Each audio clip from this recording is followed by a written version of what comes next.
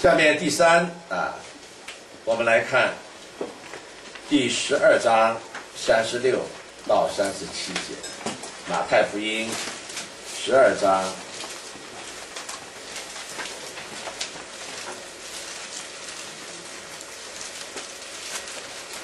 三十六到三十七节，我们一同来念。我又告诉你们，人所说的闲话，当审判的日子，必要句句供出来，因为要凭你的话定你为义，也要凭你的话定你有罪。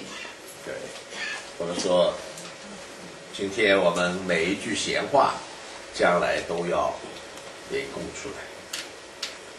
往往我们说啊，年纪大一点的人，我们在社会上过去常有一些政治运动。那么在这个政治运动中间，我记得有一个最重要的政策，那就是大胆怀疑，言者无罪啊。因为通过这样呢，可以有各种各样的资料，就可以啊，每个人的情况就可以掌握。但是我们说，今天当然我们说社会上搞运动，它的那个策略等等，这是。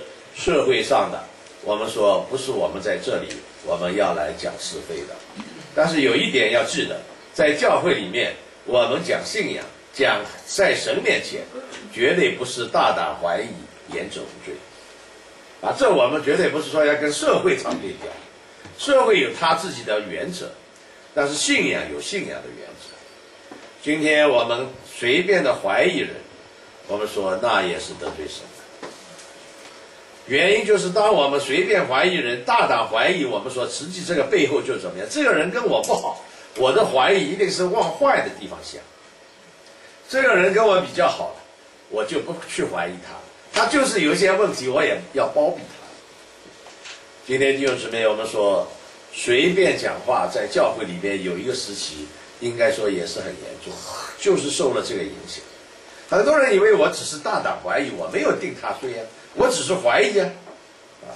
今天弟兄姊妹，我们说，往往这一类的所谓的怀疑，都是这个人我不喜欢的，我就往坏的地方去怀疑他，或者我就用一件坏的事情无法证明是或非的，然后呢，我就怀疑他了，啊！然后你这个怀疑经过两三个人的转口，就怎么样，就不是怀疑了，就是成了一个铁的事实了。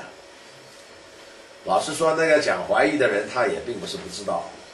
这样怀疑了以后，转个两三个弯，那就是事实。今天弟兄姊妹，我们说，在神面前绝对不是这样的一个原则。神的原则，即使一句闲话，将来都需要经过审判。今日地上所说所行一切的内容，除了在人前造成不同后果，我们不要忘记，在天上也造成不同的建造。我们看一下《哥林多前书》第十第三章。这是我希望弟兄姊妹常常要记住的一段经文，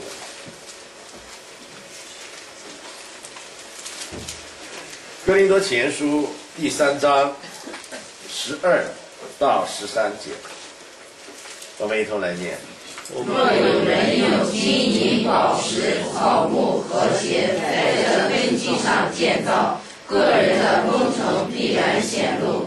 因为那日子要将它出来，有火发现，这火要试验个人的工程怎样。对，今天弟兄姊妹，我们说，在这里就告诉我们，我们信了耶稣，我们每一个人在天上的基业，我们都是一样，神是公平的，在天上的基业就等于今天我们大家分地，每一个人得到的地是一样的大小，一样的。但是我们说，在这个地上建造是我们个人不同的建造，每一个人的建造在这里告诉我们，有的是用金银宝石做材料的，有的是用草木禾秸做材料。其实这只是一个形容，将来在天上我们也知道，金银宝石也算不了一回事。但是我们说，有的是能够存得住的，经得起火的。草木禾秸是存不住的，经不起火。你知不知道，今天你在地上说一句闲话，你在天上就加上一块草砖，啊，对不对啊？今天如果你挨人的骂，你没有回嘴，可能你在天上就加了一块金砖。将来弟兄姊妹，我们说神的审判是不是要把你一句一句话都来找？其实现在都记录了。这个到底是你讲的话，神不需要一句一句讲哪一句话，这句话来帮你分析，不需要。你自己在天上那个金砖草砖一块一块的拼命在加。有的人整天讲闲话，但是这个草砖多的不得了。今天弟兄姊妹，我们说，将来你到天上去，你觉得哎呀，我给人骂了，我要求神伸冤。将来你到天上，你不要神伸冤，因为你这块金砖你会很高兴。今天如果说人家骂你，你也骂他，那么大家都是草官，对不对？所以我们说，其实将来神的审判简不简单？非常简单，只要用火一烧，什么都说明问题了。啊，有的人就说，哎呀，一个一个要过关呢，啊。其实不需要你自己受亏损。将来我们在天上，我相信我们都还会要交往啊。我们说在那时候，我们个人大家说我到你这边来了，结果哎呀，你造的那个房子这么漂亮，这么多金银宝石啊，你们来看我了，结果我这个房子都烧光了，只有这么一点点。那时候你要再想建造，就准备太迟了啊，太迟了。建造是在今天。而你不知道，这个建造不是哎，那我现在赶快建造，啊！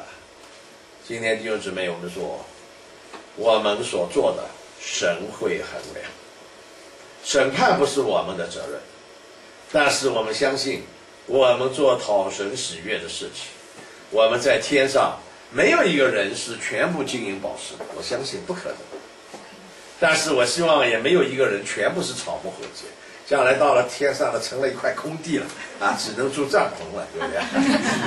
啊，但我们说那是永远的，大家要记住，天上那是永远的。今天，所以我们说，你在天上加一块金砖，这个金砖，啊，那是永远存在。我们今天所做的一切，永远盟主的纪念，弟兄姊妹，从这个建造，我们就很容易的明白，非常简单，我们为主所做的。今天人不知道，主知道。人给你的称赞只是地上的。今天我们说，在天上，我们得到的才是永远。所以我们昨天我们不是讲第五章这个论福的时候，在天上的赏赐是大的。我们有的时候就想，哎呀，将来到天上啊，耶稣就啊啊，这个人的赏赐大的，给他赏赐。其实今天早就给了。你做的时候，耶稣就给了。今天我们是为主做的，我们金银宝石的建造就比较多。将来我们在天上，我们所造的就比较大。啊，今天有的时候我们看见啊，这在地上的房子造的比较大的、比较漂亮的啊，临海的，大家都很眼红，啊，价钱也很大。今天我们说这些只是地上的、暂时的，天上的那才是永远的。我们一定要好好的建造，啊，好好的建造啊，所以。啊，从这些我们明白，今天如果说弟兄姊妹你给人骂了，你就赶快感谢神啊！你看我天上 多一块金砖。所以弟兄姊妹，我们要记住了啊，这是今天。其实，当然我只是一个我自己想象啊，这个，但是耶稣的意思应该就是这样啊。所以这样的话，弟兄姊妹，我们说。我们会真正的懂得深愿在上啊！你不需要因为啊人家骂我我吃亏了啊，你一点不吃亏啊，你占便宜了，因为人家帮你送金砖了，对不对？所以这个啊，我们懂了这个道理，我们大家都会很高兴，对不对？好，我们说第三方面，把律法下的人狭隘的比赛亚观念扩展是关乎万民。以色列人他们的比赛呀，永远那只是我们的救主，永远只是我们以色列人的，所以你们外邦人是无份的。但是我们说，其实当耶稣降生的时候，我们都知道他向牧人的宣告：今天在啊这个大卫的城为你们生了救主，是关乎万民的啊，关乎万民。今天我们首先来看啊，施洗约翰对这个也并不认识啊。虽然施洗约翰他一开始就讲你们要悔改，天国近了，但是他对这个真正的道理，可能还是认识有局限。律法下的人，施洗约翰算是最了解耶稣的，但是我们说他对弥赛亚的认识还是局限在复兴以色列国。为什么这么说呢？我们来看第十一章第二到第三节，我们一同来念。约翰在监里听见基督所做的事，就打发两个门徒去，问他说：“那将要来的是你吗？还是我们等候别人呢？”对，今天弟兄姊妹，我们说施洗约翰在监牢里面，因为他是耶稣的先锋，所以呢，他总是想，哎呀，或者啊，我们说啊，以赛亚这个来了，他就能够被救出来。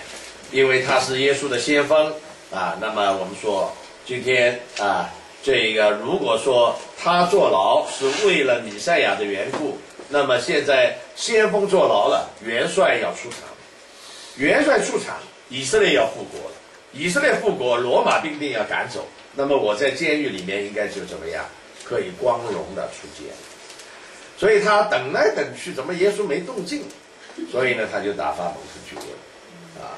说明，我们说，当然，约翰他这样，我们说也是情有可原。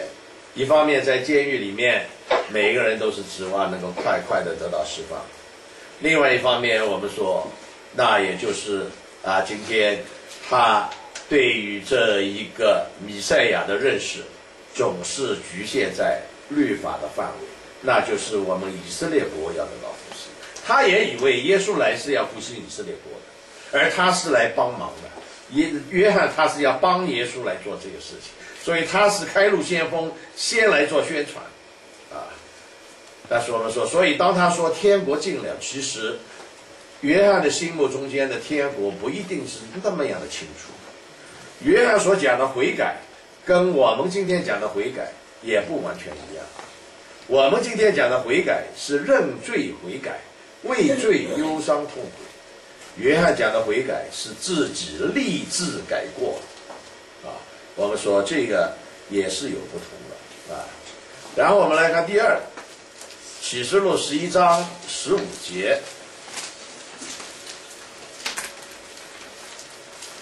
启示录第十一章第十五节。我们一同来念。第七位天使吹号，天上就有大声音说：“世上的国成了我主和主基督的国，他要做王，直到永远。”，世上的国成了我主和主基督的国，就是说，在主的权势统治之下，他要做王，直到永永远远。啊，所以我们说，今天以赛亚。不只是以色列国的一个复国者，或者是以色列国的救主，他是万民的救主，所以他要统治的是全地。这个路加福音二章十节我们不用念了，就是我刚才讲的天使报好信息啊，报好信息。下面我们来看第三，马太福音第八章。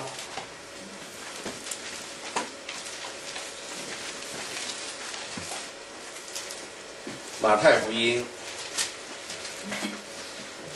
第八章十一到十二节，我们一同来念。我又告诉你们，从东从西将有许多人来，在天国里与亚伯拉罕、以撒、雅各一同坐席；唯有本国的子民，就被赶到外边黑暗里去，在那里必要哀哭切齿了。今天就姊妹，我们说，能到天国里坐席的，在这里说的很清楚，从东从西许多人，而我们说本国的子民怎么样，确实没有份。本国的子民没有份，那是对以色列人来说大大的意外啊！律法以下总以为米赛亚是要来救这些以色列人，结果我们看见耶稣在这里说的很清楚，米赛亚来不是救以色列人。米赛亚来是救万民，不是因为你是亚伯拉罕肉身的后裔就能被救，而是你悔不悔改，接不接受救。这是律法跟救恩中间我们说一个很大的一个不同啊。所以我们说能在天国里坐席的，不是自以为有律法可靠的以色列人，而是不受民族限制，像那百夫长啊有信心的人。在这里我们可以看见，耶稣讲这个话前面就是说，因为有一个百夫长，他的仆人病了，耶稣要去的时候，他又说啊，我不敢当，你只要说一句，我相信那些鬼就会听。所以耶稣说，像这样的信心，那是在以色列中都没有。以色列人不是信心，以色列人是自以为怎么样？我是亚伯拉罕的后代，啊，所以自以为我是理所当然，而不是因为有信心的结束。百夫长，当时我们说罗马人的百夫长，一般来说不会是犹太人，所以耶稣这个话的意思也是外邦人。今天其实耶稣在这里就已经把救恩跟律法很清楚的指出来。律法下以为只有以色列人才有份，外邦人都是狗，都是没份的。耶稣在这里就说，不是你的血统问题，而是你信心的问题。这就是救恩的不同啊。那么这是我们说啊第三，下面还有一个第四，把律法下的人。只重外表礼节，提升为内心真情的要求。我们说律法要求的那些规条都是外表做的，而今天弟兄姊妹，我们说神对我们的要求发自内心。人很容易用外表来代替，原因内心总是不那么容易归向神。很多人就希望心归我自己。外表我可以来模仿、来学，该怎么做我都做到。其他的宗教也只是要求外表，律法也是。今天你不可杀人，那外面你不要去杀人，你心里面恨人，诫命管不到你。你心里恨人，在律法底下你没犯罪，你不可以拜别的神，那你心里面讨厌耶和华。诫命，你说有没有这一条？没有。但是今天呢，我们说是不是说你拜不拜神的问题，也不是说你讨厌不讨厌。我们的要求，尽心尽性、尽意尽力爱主你的神。其实也相反，爱人如己。你今天爱神了，你还会讨厌神吗？而且我们说，你真正的爱神，你还会去爱别的神吗？今天我们说。啊！如果我们爱人了，我们怎么可能杀他？你会去杀一个你爱的人？你保护都来不及。你会恨他吗？也不会。多少做妈妈的孩子丁壮啊！我看他一点不会记恨。原因是什么？因为有爱。今天我们说，你对一个人也是一样，你爱不爱一个人？今天你爱他了，你不会恨他。一个得罪你的人，啊，我们说你从心里面你真的是爱他的，我们说我们真的会原谅他。所以耶稣不是说要从心里面饶恕你的弟兄。我们来看一下这方面，看几处经文。第一个，我想是弟兄姊妹最熟的，耶稣跟撒玛利亚妇人谈到的时候说的话。虽然这不是在马太福音啊，其实其他的福音有的时候我也都要借用一下啊。那个这个道理都是一致的啊。四福音的时候，其实我们说都是在从律法要过渡到救恩的这样的一个啊扭转、改变的观念的时候啊。我们一起来念第四章《约翰福音》第四章二十三、二十四节。时候将到，如今就是了。那真正拜父的，要用心灵和诚实拜他，因为父要这样的人拜他。神是个灵，所以拜他的必须用心灵和诚实拜他。对，今天我们耶稣就像方撒玛利亚的夫人指出，地点不在乎，啊，不是这里好那里好，到了这里就特别蒙福，不一定。今天我们说地点不在乎，形式不在乎，仪式不在乎，不是一定要这样才做到。过去我们说有些仪式，那就是外表看来很隆重啊，那一定是要这样做这样做，他们认为那就是这叫敬拜神。其实我们说仪式并不是不可以，帮助我们的心灵，而并不是仪式代替心灵。从前是这样，现在也是这样。从前的那些仪式，因为代替了心灵，以至于我们说磨气沉沉。所以现在的人呢，又走了另一个极端。现在的仪式就不是磨气沉沉，有的时候我就觉得过度活跃了。我们说这样的过度活跃，帮助心灵也是好的，但是如果以为你这样做到了，那就代替了心灵了。我们说，其实这也一样是一个仪式，并不发自心灵和诚实。这些外表的。不管你是那一种用树木的方法，用那一种热烈的啊方法，感情奔放的方法，我们说只能都是一个辅助性的。真正的我们怎么样能够把心灵诚实带出来，这是重要啊。所以我们说，如果有一些仪式能够帮助我们把心灵诚实带出来的，那我们说。我们认为那就是可以。如果有些仪式，再人家说的好听，到最后弄得我们说一个人啊，我们说是无法安心下来，无法用心灵和诚实来敬拜神，影响到我们心灵和诚实的这样的一种形式，我认为都是不合适的，因为没有真正帮助了我们的心灵和诚实。第二。我们看罗马书第七章这句话讲的就很具体，那就是指出了律法到救恩的一个改变。罗马书第七章第六节，我们一同来念。但我们既然在亏我们的律法上死了，现今就脱离了律法。叫我们服侍主，要按着心灵的新样，不按着一人的旧样。虽然这个话不是在四福音里面，但是我们可以知道律法和救恩的区别。律法按着译文的旧样，就是旧约；而今天那就是按着心灵的信仰，新约。新约那是讲心灵。而马太福音、马可福音、路加福音、约翰福音，真是在这个教导上，把过去的那一个按照遗文的旧的那一个样子，要把它转变改成按照心灵的这样的信仰。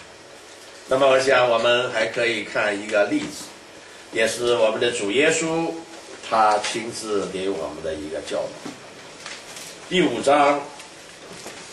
第三十九节，我想第五章其实总的那个内容有一个主题，那就是律法只是讲外表，耶稣说的那一些真正的救恩的解释，那就是讲内心。所以我们说恨人就是杀人，动淫念就是淫乱。我们说那是因为耶稣他是用律法的题目讲救恩的信息。律法的题目是不可杀人、不可奸淫，但是耶稣的解释，那就是你从心里面有这样的意念，那就已经是得罪神，那就是救救恩底下的要求。那么这里是另外一个，我想我解释一下呢，弟兄姊妹肯定也就会明白。我们一起来念第三十九节。只是我告诉你们，不要与恶人作对。有人打你的右脸。连左脸也转过来由他打，以眼还眼，以牙还牙，那是律法下最公正的一个要求啊。但是我们说，到了耶稣的解释，他的解释就是打你的右脸，左脸也给他打。那么为什么我说这是从表面的忍耐提升到内心的宽恕不予计较呢？我们看一下约翰福音十八章，耶稣给人打脸的时候，他是怎么做的？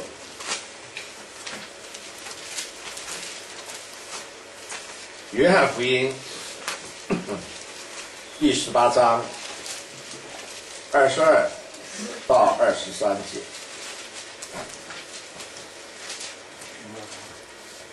我们一同来念。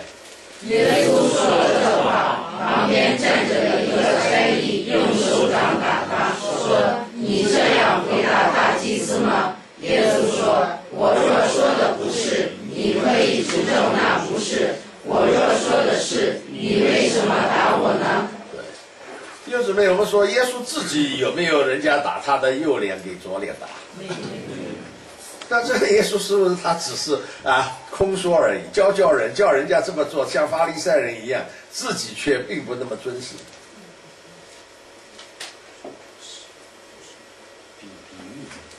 大家想想看，这是什么原因？其实弟兄姊妹，我相信耶稣在这里只是形象的教导，给人打了右脸，连左脸也给他打，意思是什么呀？你要甘心。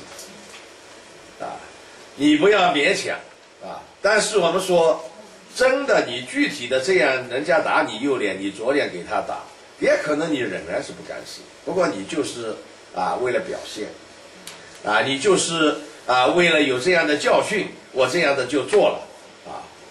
其实我们说，耶稣是不是真的有左脸给那个人打的？其实是有的，但是这个是形象的，不是那个有形的。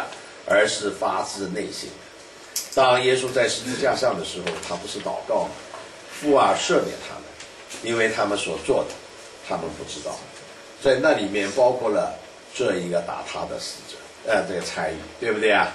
因为那个参与打他，我们的主耶稣没有记恨，他没有像大卫那样啊，父啊，你要让他不可以白头安然下阴间 啊。我们的主耶稣相反的是祷告说，父啊，赦免他。而这一个祷告，我觉得比给人打了右脸，用左脸也给他打更加的有力，更是让我们知道。所以，其实我们怎么来理解？今天有人打你的右脸，连左脸给他打。